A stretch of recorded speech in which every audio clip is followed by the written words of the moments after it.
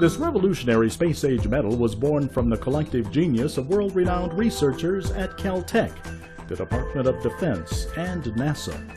Their pursuit, the perfect material, a substance stronger and harder than traditional metals like stainless steel and titanium, with the corrosion resistance and durability to last a lifetime.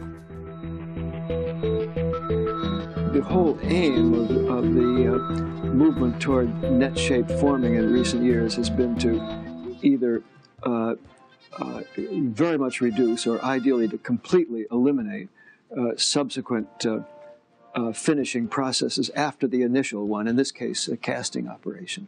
And that is an important advantage of liquid metals.